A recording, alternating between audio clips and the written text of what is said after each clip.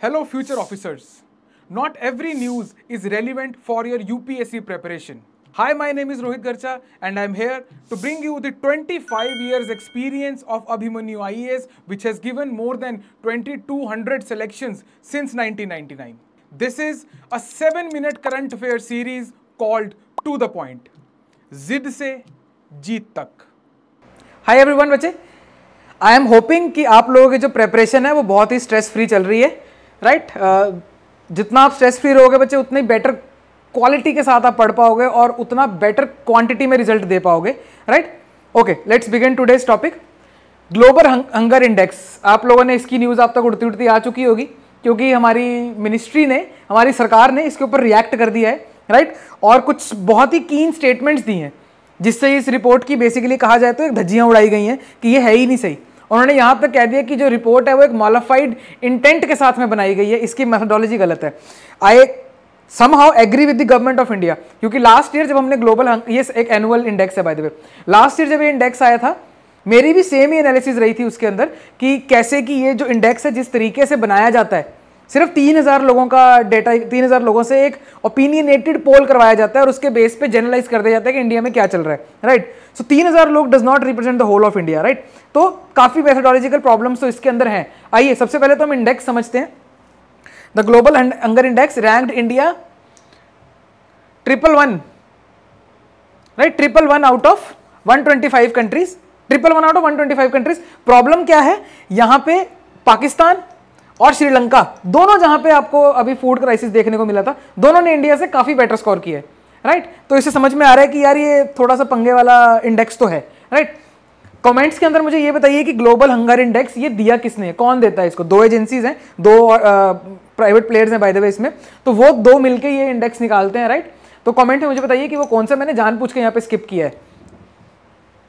आइए बच्चे, सबसे पहले देखते हैं कि कैलकुलेशन किन फोर इंडिकेटर्स पे होता है। इन फोर इंडिकेटर्स को एज इट इज़ याद करना है आपने राइट चार इंडिकेटर्स मिलकर देते हैं राइट और बाय द वे ये परसेंटेज में होता है और इसके बाद में इसकी वेटेड एवरेज निकाल लेते हैं राइट आइए बच्चे number one under nourishment the share of the population whose caloric intake is insufficient जिनकी कैलोरीज ही उनको कम मिल रही हैं लाइक अंडर नरिशमेंट दूसरा है चाइल्ड स्टंटिंग स्टंटिंग का क्या मतलब होता है? The share of children under the age of five who have low height versus their age technically height versus their age को स्टंटिंग कहा जाता है। चाइल्ड वेस्टिंग चाइल्ड वेस्टिंग का मतलब होता है who have low weight for their height ठीक है जी? और ये बाय द वे टर्म्स हैं, ये आपको डायरेक्टली भी पूछे जा सकते हैं। मैं आपको सिर्फ़ बता रहा हूँ, ये इंडिकेटर्स हैं ग्लोबल हंगर इंडेक्स के। Last is child mortality right children who die before their fifth birthday right पाँच साल से कम की उम्र वाले जितने भी अगर वहाँ पे उनकी डेथ हो रही है तो उनको उसको चाइल्ड मोर्टेलिटी कहा जाता है। एक गवर्नमेंट ऑफ़ इंडिया ने बारे में यही मैं आपको बता दूँ कि ये तीन ना आपके सारे चिल्ड्रन से रिलेटेड है। एक आपको कॉमन पॉपुलेशन का बता रहा है, लेकिन हंगर इंडेक्स पूरी पॉपुलेशन का है। तो एक ऐसा इंडेक्स जिसके अंदर एक जो फैक्टर है, वो पूरी पॉपुलेशन को कवर कर रहा है, बाकी सारे है ही चिल्ड्रन को कवर करने वाले राइट वो आपको प्रॉपर हंगर का असेसमेंट दे नहीं सकते हैं। ऑल्सो एफ़ ने फ़ूड एंड एग्रीकल्चर ऑर्गेनाइजेशन ने हंगर को भी डिफाइन कर रखा है। What is hunger it is the displeasure discomfort caused due to persistent low intake of calories है ना? उसको बोलता है, ऐसा नहीं कि अगर आज आपका फास्ट है तो आप हंगरी वर्सेस हंगर को आप कंफ्यूज मत करना। अगर भूख लग रही है, इसका मतलब ये नहीं है that you suffer from hunger right आइए बच्चे, आगे चलते हैं। क्या करता है ग्लोबल हंगर इंडेक्स ये कॉम्प्रिहेंसिवली मेजर करता है आपकी ट्रैकिंग हंगर की at global regional national levels global hunger index के अंदर इंडिया का जो स्कोर है दैट इज़ 28.7 जो कि काफ़ी लो है। मतलब 28. मोटा मोटा अगर बताएँ तो ये बोल रहे हैं कि लगभग 30 परसेंट लोग आपके एक्यूट हंगर से सिवियर हंगर से सफ़र कर रहे हैं राइट हमारे पास में पीडीएस सिस्टम वगैरह चल रहा है, अब ये पिक्चर नहीं है राइट आइए बच्चे हंगर है यहाँ पे, लेकिन ये पिक्चर थोड़ी सी एग्जैजरेटेड है। आइए बच्चे वर्ल्ड का स्कोर कितना है? वर्ल्ड की एवरेज कितनी है? 18.3 जो कि 2015 तक जो लेवल था उसका वो 19.1 था, यानी कि वर्ल्ड ने हंगर के ऊपर थोड़ा थोड़ा काबू पाया है। तो ये कहना चाह रही है रिपोर्ट मैं मेन मेन चीज़ें बता रहा हूँ आपको, और रिपोर्ट ने जो है अनेमिया की प्रेवलेंस को भी हाईलाइट किया, ये तो इंडिया में चलता है।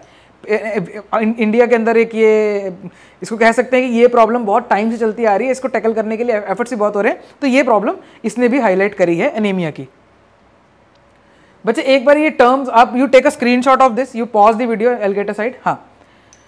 इसमें अंडर नरिशमेंट अंडर न्यूट्रिशन इन दोनों में फ़र्क होता है। अंडर अंडर नरिशमेंट मैंने इसको बताया कि ये सिर्फ़ आपके कैलोरीज तक सीमित होता है कि कितनी कैलोरीज आप ले रहे हो। Undernutrition it extends beyond calories right so technically ये सिर्फ़ क्वांटिटी ऑफ़ फ़ूड के ऊपर बात करता है।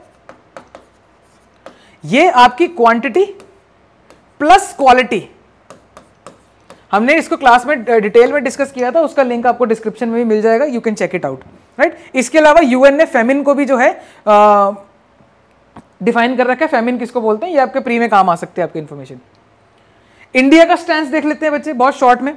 मैथोडोलॉजी को उन्होंने बोल दिया कि इसको क्रिटिसिज्म किया राइट कि serious methodological issues and malafide intent साफ़ कह दिया ministry of women and child development क्योंकि मोस्टली जिन चीज़ों की उन्होंने धज्जियाँ उड़ाई हैं, वो यही मिनिस्ट्री देख रही है राइट यही देख रही है आपके माइक्रो न्यूट्रिएंट्स को, यही देख रही है आपकी चाइल्ड स्टंटिंग को और इन सब चीज़ों को। आइए बच्चे, इन्होंने बोला है कि फोकस ऑन चाइल्ड हेल्थ है। ये इंडिकेटर्स आपके चाइल्ड हेल्थ के ही हैं, लेकिन आपने इसको पॉपुलेशन के लिए जनरलाइज कर दिया है।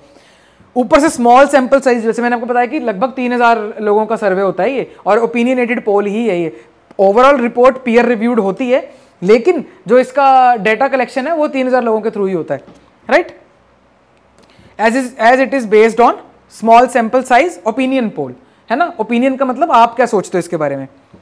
और वो सरकार बोल रही है कि ये सिर्फ़ हंगर जो है जो चाइल्ड स्टंटिंग और जो आपके तीन फैक्टर्स हैं, ये सिर्फ़ और सिर्फ़ आपके हंगर से रिलेटेड नहीं है, इसके और भी फैक्टर्स हैं जो कि यहाँ पे दिए हुए हैं। Thanks for watching the video this seven minute to the point series specially designed for your prelims examination if you wish to cover your current affair holistically for your mains as well as for your interview please check out Abhimanyu I current affair master course 2024 इट is based on Trishul model you will be getting three things. Number one, weekly classes. Number two, weekly PDFs of current affairs. Number three, weekly tests on current affairs. The link to join the course is given in the description below. Zid se jeet tak. And if you are ziddi enough, subscribe for regular updates. This tailor-made current affairs master course is enough for your preparation of current affairs for UPSC Civil Service Examination 2024.